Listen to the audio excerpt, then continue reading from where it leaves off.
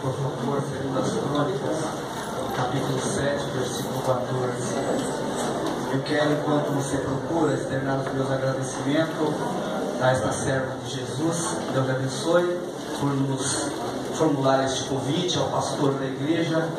Uma pessoa já pude ver que é muito carismática, né? Graças a Deus. Deus seja louvado pela vida do pastor aqui também, amigo. Deus abençoe em nome de Jesus. Deus abençoe a igreja de modo geral, este ministério. Fico feliz por estar aqui nesta noite. Me perdoe por ter chegado tanto atrasado. É que tive que deixar a minha esposa e meu filho na igreja para depois estar aqui. Por essa razão eu cheguei um pouquinho atrasado. Me perdoe em nome de Jesus Cristo. Quantos trouxeram o livro? Diga amém. Amém. Já está com ele aberto? Então vamos lá, 2 Crônicas, capítulo 7, versículos 14. Que diz assim: Se o meu povo que se chama pelo meu nome se humilhar, orar, buscar a minha face, se converter dos seus maus caminhos, então eu, o Senhor, ouvirei dos céus, perdoarei os seus pecados e sararei a sua terra. Eu gostaria que você olhasse, antes que eu peça para você se assentar, para esta pessoa que está do teu lado, vou pedir só esta vez, por favor. Tira esta pessoa, Deus ainda sara. Deus ainda sara. Pergunte para ele e para ela, você crê que Deus sara? Aleluia. Todos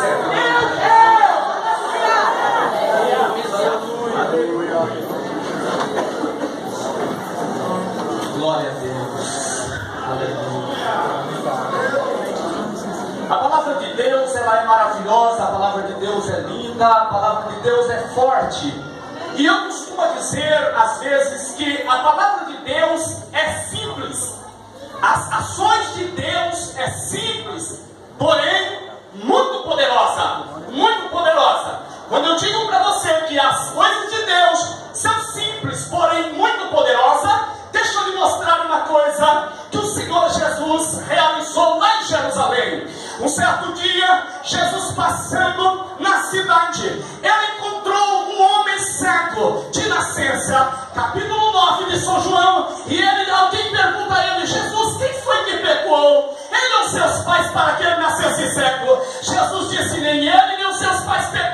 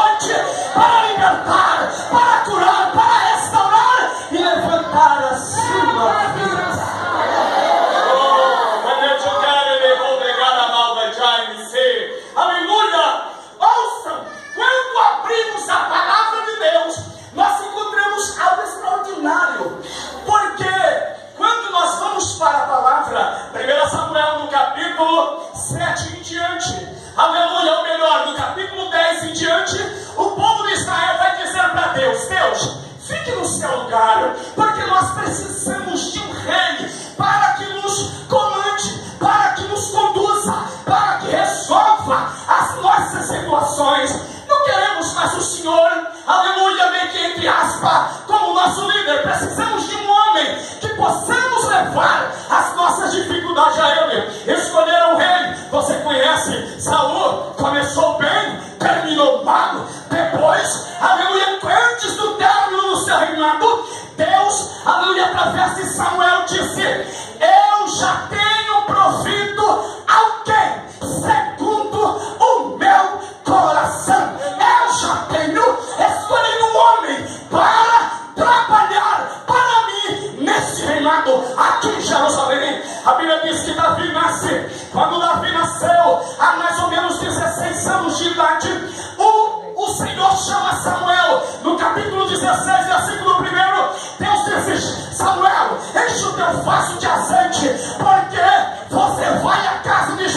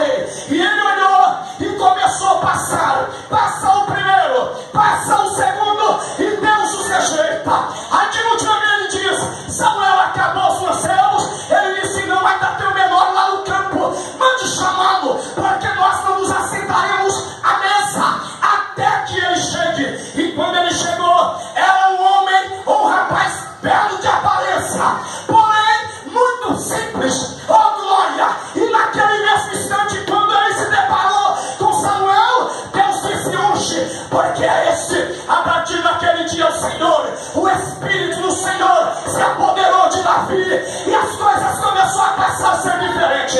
Aí você sabe da história, então compreendam isso aqui. Ele foi para a cidade, lá ele começou a treinar, a pelejar, e a partir daí Deus começou a trabalhar na vida de Davi, do jeito que ele queria. Agora eu tenho uma notícia para te dizer, abrindo um parênteses, isso que estou falando contigo, amado, amado.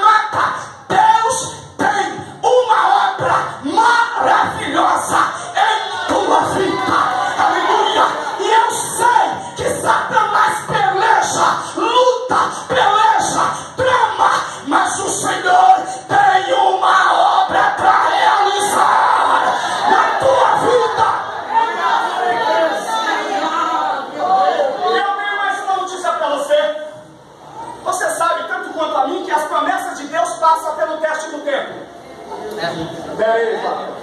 Aprende aí, tu vai me sentar, vou te barulhar, matar a cega aleluia, passa um teste. E esse teste, às vezes para mim, para você, nós queremos que Deus cumpra aquilo que Ele prometeu,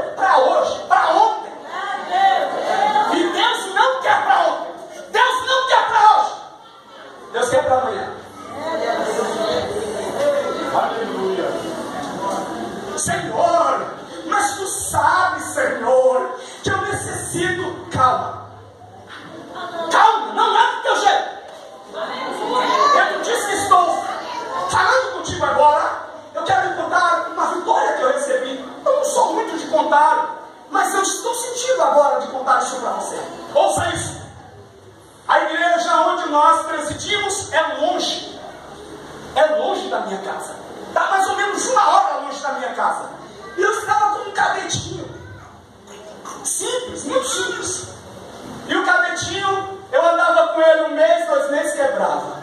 Um mês, dois meses quebrava.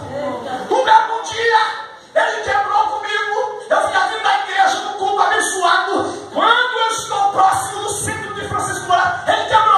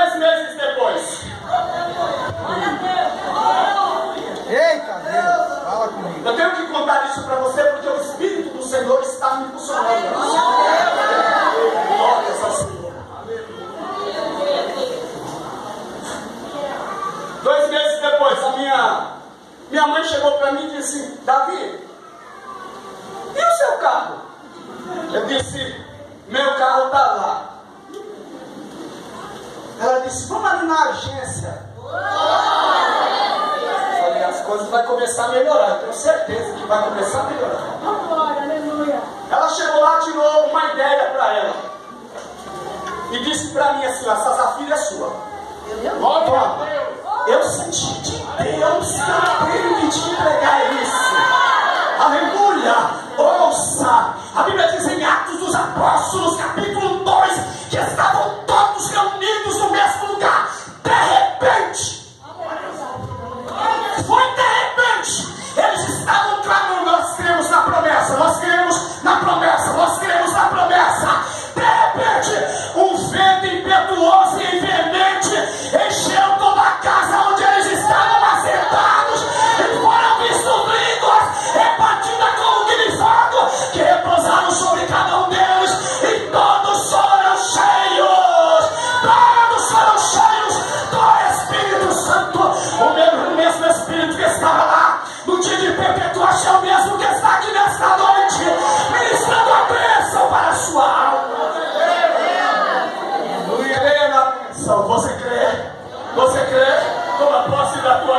comes for her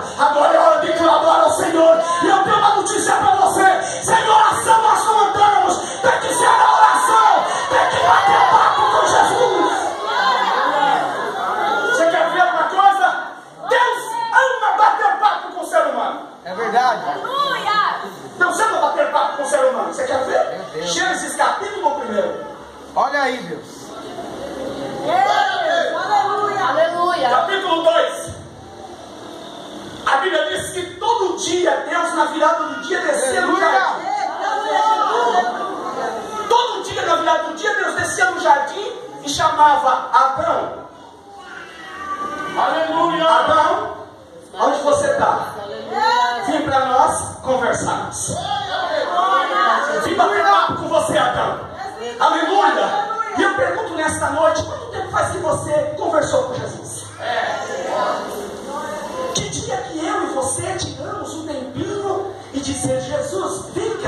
vamos conversar. Isso é bom, porque conversar com Jesus, aleluia, indica que é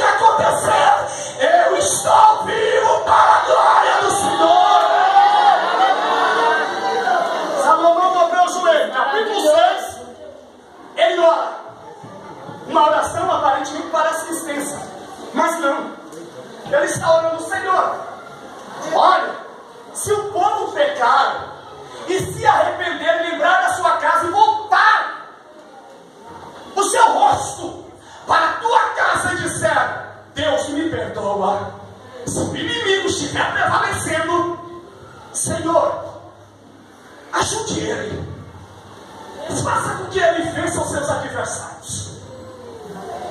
Aleluia. Se alguém chegar aqui e pôr a mão e clamar ao Senhor, ouve esta oração. Quando ele disse amém, a Bíblia diz que o fogo desceu do céu. Aleluia! A glória de Deus invadiu aquela casa. Aleluia! Sinal de confirmação de que Deus estaria presente ali. Aleluia. Glória a Jesus. Eu já estou Aleluia. finalizando. Primeira. Deus maravilhoso. Glória a Deus. Aleluia. Os sacerdotes levitas que estavam ali caíram com o rosto em terra, porque a Shekinah de Deus era tremenda. Uma fumaça dessa tomou conta de tudo, tudo, e o nome do Senhor naquele dia foi exaltado. Aí Deus veio e diz assim, ó. Se o meu povo, ato de condição, já começa o verso 14, se inicia com ato de condição. Se o povo que se chama pelo meu nome se humilhar, Eita Jesus. e esse ato de humilhação aqui é dizer, Senhor, tu podes, eu não. Aleluia. O Senhor é, eu não. João disse no capítulo 3, versículo 30, ele disse, é necessário que ele cresça e que eu diminua. Aleluia! Para quem reconhece o poder de Jesus Cristo, as coisas acontecem da parte de Deus. Se esse povo que se chama pelo meu nome disser, Senhor, sabe, Senhor, até hoje eu sofri,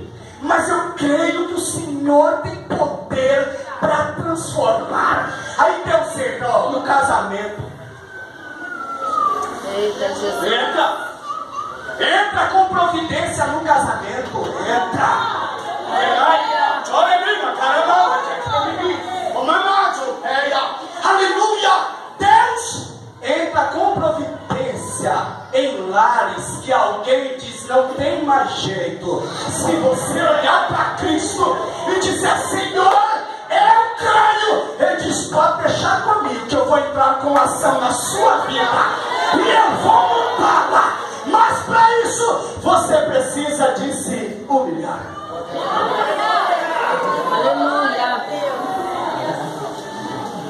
Quando eu e você reconhecemos o poder de Jesus Cristo, não tem como Deus não operar, não tem como Deus não agir. Ele mesmo foi quem disse a Abraão: Eu te abençoarei, aleluia, e farei de ti, Deus abençoe, uma grande nação,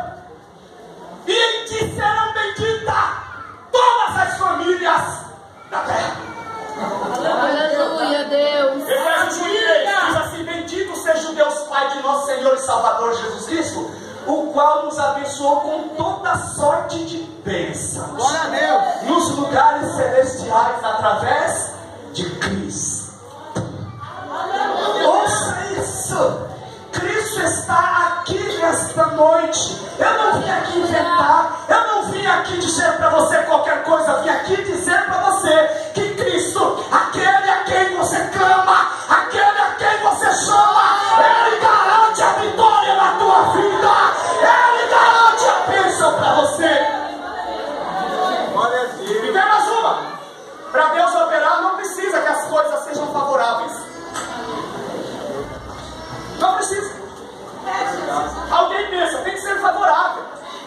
favorável, não tem como.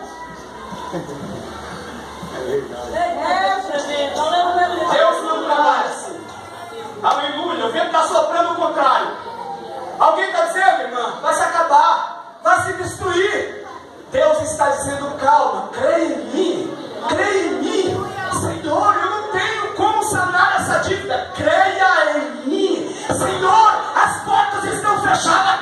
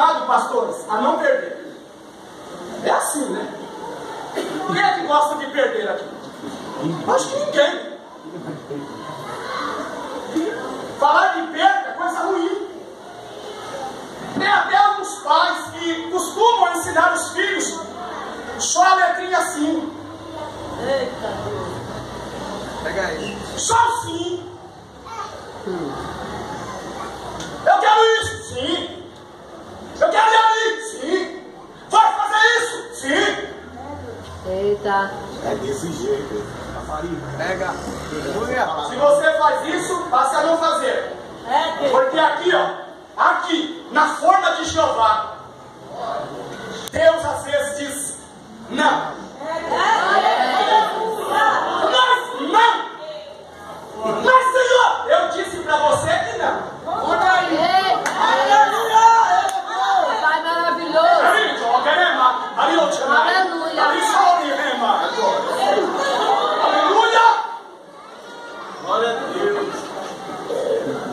E às vezes nós estamos só querendo receber.